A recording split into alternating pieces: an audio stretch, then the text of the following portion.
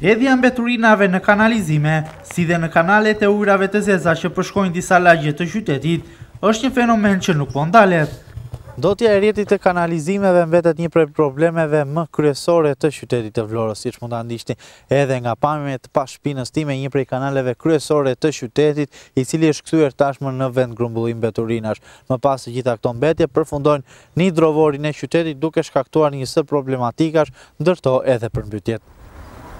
Banorët e Vlorës thonë se rrjeti i kanalizimeve është kthyer në një kontenier të madh mbeturinash edhe për shkak të papërgjegjshmërisë qytetare që i hedhin ato në kanalizime duke shkaktuar më pas defekte të shumta, bllokime që sjellin edhe përmbytje.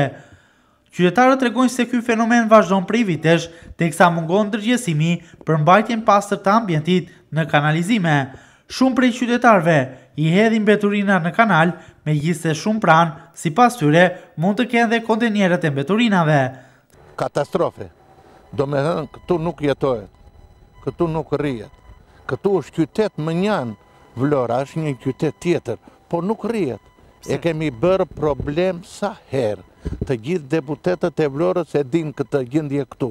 Edhe në bashki kemi vajtur, këtu nuk bërë asnjë gjë. Nuk kanë vënë dorë fare.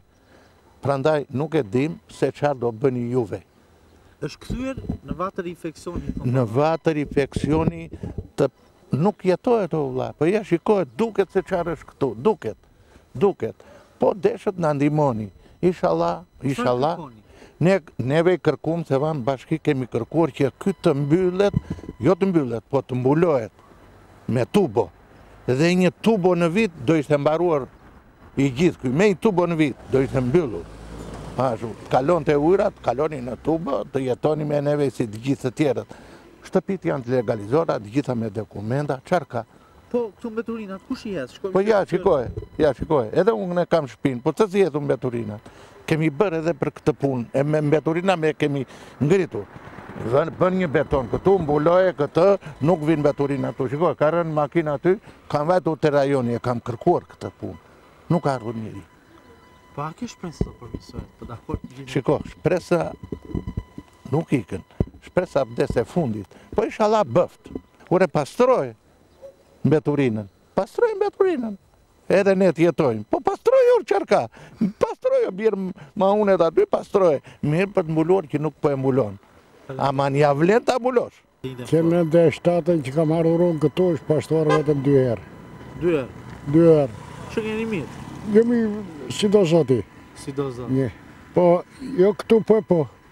Hajde një po deshtë, mundohuni deri atje poshtë. Po, vazhdon e njëjta situatë, në Shalë... Ura, po është bllokuar fare ura atje, kanë edhe mbeturina. Kush i hedh këto mbeturina? Po, po, po. Po, ne, se dhe ne jemi të pandërgjegjshëm vetë, aman. Edhe ne vetë, kemi faj vetë. Po, ama vërë dorë ti si kryetar familje, E thuaji atij fëmijës ore, po gabove këtu, do të fus një kafes. Kur s'i intereson, kryetari i bashkisë, kur s'i intereson, ai i lagjes, ai i plehrave, ai tjetri, ça të bëjmë ne për këtë? Po, keni bërë ankesa? Sa herë, bile, bile, unë, kam qenë ai kur bëri një mbledhje këtu, kemi qenë të javët. Po? I kam thënë vetë, personalisht kryetarit të bashkisë. Është rënë një rëzë na fut kolerën. A ke shpresë të përmirësohet një ditë? Eh? A ke shpresë të përmirësohet? Vallahi me këto gjurmë që kanë këta si zor është. Mbetje të shumta të materialeve dhe llojeve të ndryshme që hidhen në kanalizime, shkaktojnë më pas një sërë problematikash shqetësuese për qytetin.